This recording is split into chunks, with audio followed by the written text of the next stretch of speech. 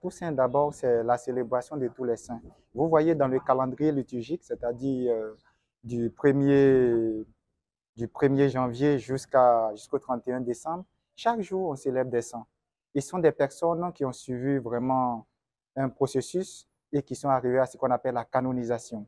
Et après cette canonisation, ils sont donnés un exemple au peuple de Dieu.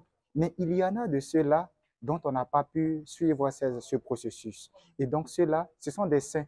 Comme nous, peut-être en Afrique, ici, on a beaucoup de saints, sans forcément savoir que ceux-là sont des saints parce qu'ils n'ayant pas été proclamés saints.